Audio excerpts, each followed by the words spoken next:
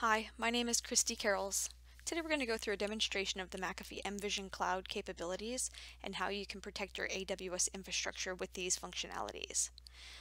Things we'll talk about today in this demonstration are the ability to gain visibility into your AWS usage from your users, detect data exfiltration, compliance reporting and configuration management, as well as run DLP policy via on-demand scanning capabilities. Prerequisite for this is we have connection to our AWS infrastructure, which we've already done. Uh, we can then go ahead and just view uh, events from AWS by clicking in our dashboard and going to AWS Services, Amazon Web Services. From my previous videos, you understand that the dashboard is extremely flexible and these cards are all modifiable so that you can easily view incidents or uh, events at a single glance. We'll see we are set up 100%. Everything is checked in green. So we'll get started with this demonstration.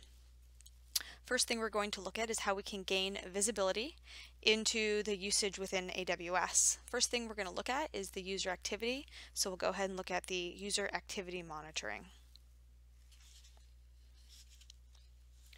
What's nice about the AWS uh, connection is once that connection is established, the activity feed will start to flow and you'll see all the events starting to populate into this graph. mVision Cloud categorizes each activity to make it easier for security administrators to review the data. Our natural language processor, or the NLP, automatic cate automatically categorizes events received from AWS into the categories as shown on this page. For example, we can focus specifically on data delete. If we select the pencil, you'll notice that this is editing the activity and we have specifically 77 different categories that have already been categorized for the data delete functions and events. This automation greatly reduces the effort required to focus in on specific sets of data. Now that we're looking at this, let's go ahead and cancel out of here. We're going to focus in specifically on that data delete category. When we select that category, you'll notice that it modifies the data being shown below. Previously, we had over 17 million activities, but if we click on data delete, you'll notice there's 16 users with uh, only 1900 activities. Since mVision Cloud tracks and records every single activity received from AWS, the ability to filter down makes it much easier to perform these investigations. And then these activities can be exported to a CSV, which can be then processed by external tools, or we can dive into the events specifically in this mVision Cloud dashboard. If we look at the Activities tab, we notice that it loads up. There's a number of different items that we're seeing. We can scroll down and we can uh, delve directly into what's called a data delete bucket. The nice thing about mVision Cloud and its functionality is it provides you more information about where it's getting this data from. In addition to receiving event information from the CloudTrail logs, mVision Cloud provides activity enrichment information, as we can see down here, uh, to these events. It even gives information such as the ASN, or Autonomous System Number, which we see right here, and then we can talk about the, look at the IP organization. Now what's nice about this is we can block these based on uh, the information that is given to us. And it's important to understand that these types of things are usually landlines and can help us delve into specifically what the activity is and why it's important. So we can see that um, even though there's a ton of information, we can specifically look at an example and delve down very, very quickly to investigate a specific user. So we can go back to users over here. And let's go ahead and look at this person. We can add them specifically to a filter, and you'll notice it's added right up here to the Omni bar, and you'll notice this one person has 123 activities. If we click on the activities list, we've now delved down specifically into those 123. If you remember when we started, we had over 17 million activities and we had over 400 different users. So what was really nice is just through a few clicks we were able to specifically delve down into the actions and capabilities of a user. We can even go a little bit further and let's say we want to specifically look and add to our filter for taking action from what's called an untrusted location or trusted for. And we look at trusted for none and we add this to our filter Ah, that's great. They have no untrusted activities. And the reason why this might be important to us is understanding that they may be performing this from an untrusted location and help us delve deeper into the actions that they are taking. So we'll go ahead and close this window. So what activities does mVision Cloud actually monitor? So we can click on the Incidents tab, Incidents, User Activity, and then Available Activities.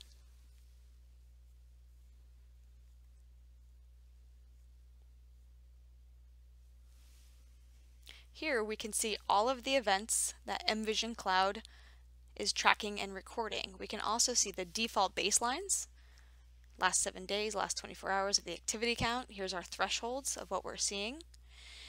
And anomaly and threat generation as well, specifically regarding uh, events that we're receiving about our cloud. So now that we understand that mVision Cloud has an extensive list of activities that are tracked for AWS, Let's take a look at how the anomaly and threat engine use these events to detect and alert on speci specific activity. So if we select incidents, threats and anomalies, and we can look at some of the anomaly settings, here we can see the anomalies that are included with the mVision Cloud for AWS services. This list will continue to grow as we further develop the product. Also note that you subscribe to the cloud services, the anomaly engine works across cloud services as well for you. So this is important to identify uh, users, for example, who may be pulling data from multiple cloud sources, um, but each individual service may not actually trigger this anomaly. So this is why it's very important to monitor this user activity across, across all your cloud services versus just one, and then it shows that it could, the intent could potentially be malicious. Another good example, if we see something here called the superhuman anomaly um, of a what's called cross-service anomaly would be this one right here. So if mVision Cloud witnesses activity from multiple sources and multiple locations, regardless of the service, this could be considered impossible travel for a user, right? Be like Superman flying across the country. Um, so this would trigger something called an anomaly. So let's say Bob accesses AWS from a location in the US um, and then accesses Office 365 from Europe an hour later. This would definitely be considered anomalous.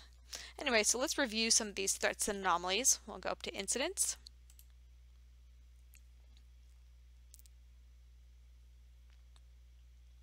Threats and anomalies. And then we can look at the sanctioned services and these threats that have actually triggered. Here we can see how mVision Cloud differentiates uh, anomalies from threats. And remember, a threat is a grouping of anomalies to provide us information about um, the incidents themselves. Let's go ahead and clear this out. Right now it's showing us a filter for the last seven days. We're going to clear that out. So here's our threats and here's our anomalies. And remember, we are talking about uh, them being a grouping. So here's the first one. It's a threat, insider threats, and here is the items that it saw. So this user has downloaded an anomaly, anomalous large amount of data in a specific duration of time. Um, so the interesting part of it about this is said the activity name was this. Here's the normal threshold, and as you can see, here's the anomaly, and it can give you information about it. You can also take resolve issue, so you can resolve it, or you can say it's a false positive. It can tell me about the user as well as the service that they used. So it's really nice because it's providing me this threat information um, versus just anomalies. Now, mVision Cloud doesn't specifically recommend looking at all the anomalies, just because if we see one, it doesn't particularly mean a threat, which is why we're specifically calling out the threats as being something more important for you to look at because we've correlated the data for you based on our engines and we're providing you this threat information. So, so far we've discussed the cloud's, mVision Cloud's ability to have automated threat protection and its engine, which takes the CloudTrail feeds and provides user behavioral analytics to determine anomalous behavior and real-world threats. Another key aspect of this would be to track AWS configurations. This is actually a very popular way for users to utilize this tool to verify that their AWS accounts and uh, other areas are not open to exposure or possible risk. So we went to Policy, Configuration Audit. This is where AWS's configuration auditing tool provides a set of policies to check for the AWS account for those exposures. So we have things such as world readable S3 buckets, probably something we'd want to look into if we had uh, that in our environment. By default, the policies are enabled to provide a detailed risk assessment of your AWS environment.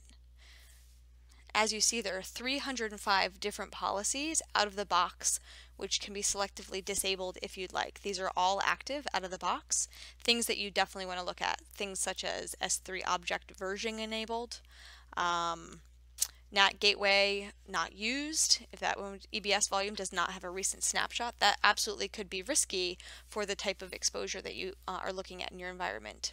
And each policy is documented in detail in the help pages. So we'd be able to actually go into the search pages under here for help. And under the help pages, we can type in mVision cloud for AWS. Oops if I could type, compliance policies.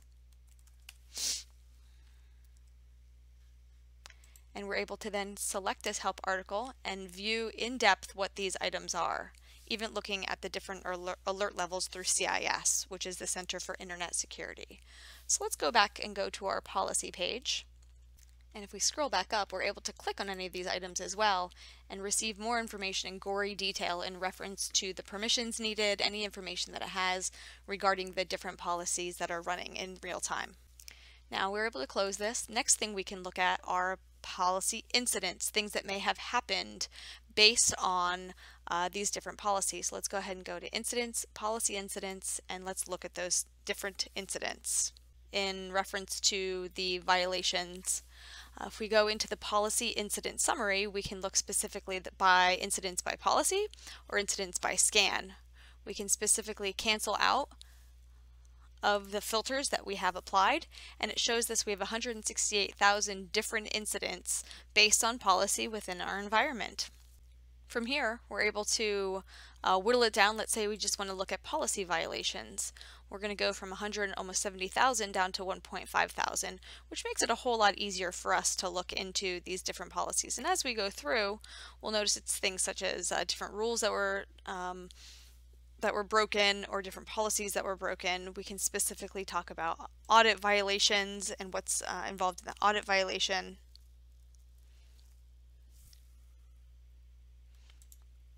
Click audit violation right here and we'll notice that we're only 76 policies were violated and it provides us information into these auditing violations. And as we scroll down, we'll notice we definitely see more information as to the different audits. So here's the one we were just looking at before, world readable S3 buckets. There are three total incidents and none of them have been uh, are unresolved, which just means someone's gone through and actually resolved these incidents. So this is really great for us to look into.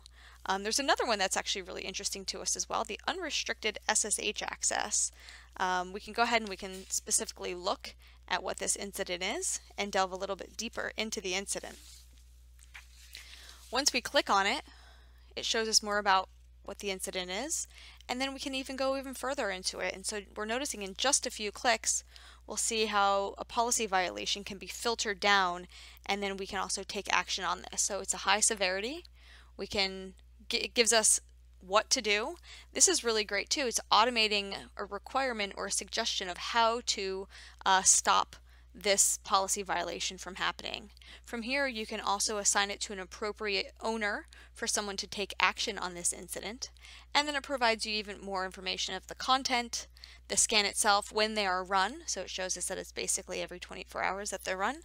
And then again, taking action and suggestions of how to fix this incident. Let's scroll back up to the top of our screen. We can remove our filters. And then again, this brings us back to our main incidents display.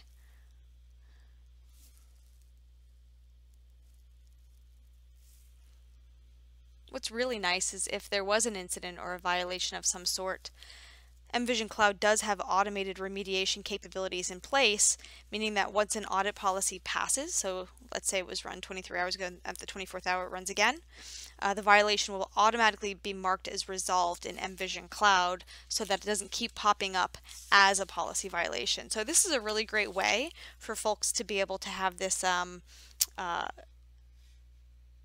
automation in place to take some of the burden off of your uh, employees. Lastly, we're going to discuss on-demand scanning, specifically uh, DLP for S3 buckets. Let's go ahead and look at some of these DLP policies that we have in place. So let's go to DLP policy. We can look specifically on the uh, Amazon Web Services policy. We'll notice we have 35 policies here. We can look at only active policies, so we're not looking at any inactive policies. And it shows us we have something for on-demand scan credit cards, um, social security numbers, and classified docs. And these uh, policies will actually run at a specific amount of time and they'll scan those areas. You'll notice we have everything from OneDrive to Google Drive and Exchange, etc. So these are all of our different services that we could specifically filter on. But we have these items, they're active and the last time they were updated. So now we can go ahead and we can look at the policy incidents. Again, this is how we were looking at them before.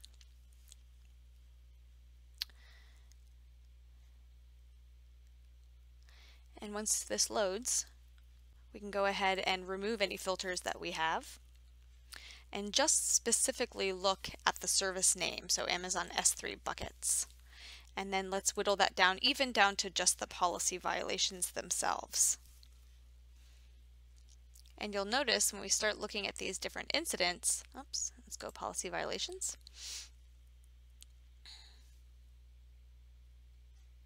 You'll see that customers for processing, S3 buckets, we can actually start selecting some of these items to get a better, understanding of these DLP policy incidents. You'll notice number 4-1, on-demand scan credit cards, was a policy violation. It provides data in reference to that. We can assign an appropriate user to take this as an action. It's a new incident status, right? If it was false positive, etc., we could assign that there. And it even shows you the redacted data so that the data is not all over the, the admin screens when they're looking at this possible PII or customer information or sensitive data that can be triggered based on these DLP items. So hopefully this demonstration provided you a great overview of how mVision Cloud can protect your Amazon Web Services. Have a great day. Thanks for your time.